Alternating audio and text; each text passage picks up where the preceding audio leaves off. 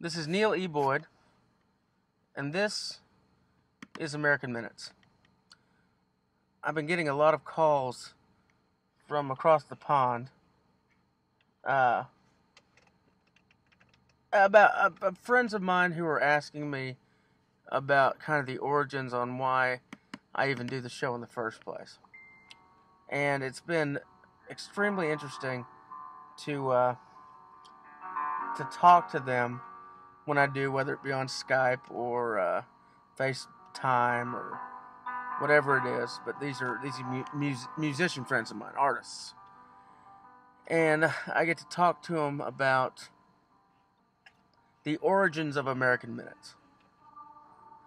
Now, the origins of American Minutes comes from a very simple concept.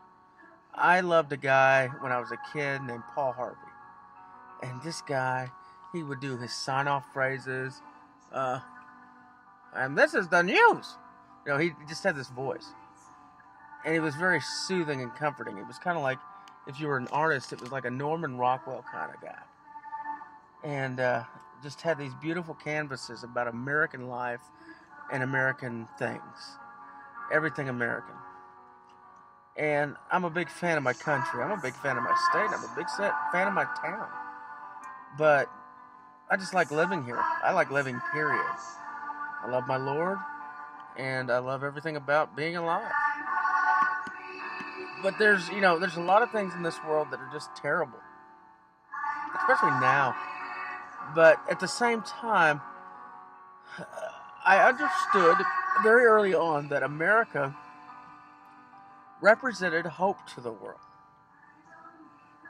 And American Minutes are very simple little vignettes about American life, but not everybody's life. I can't speak for everybody. I know a lot of people in this world say, Well, I'm speaking for everybody when I say. Well, I'm not speaking for anybody, I'm speaking for myself. I enjoy speaking for myself.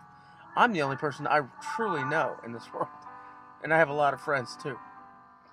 And I've made people very happy, and I've disappointed a lot of people uh, because I couldn't give them exactly what they wanted.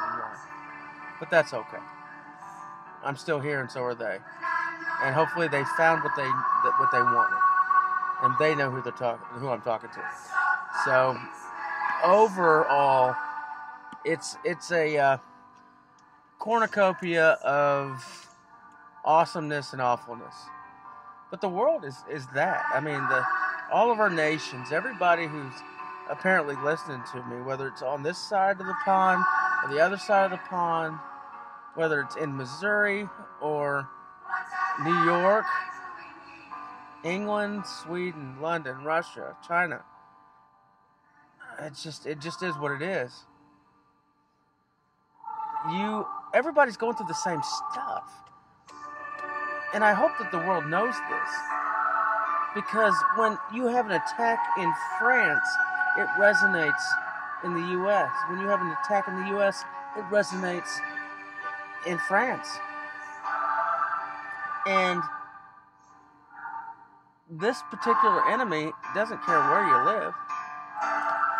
I mean, death begets death begets death. The question is who wants to fight?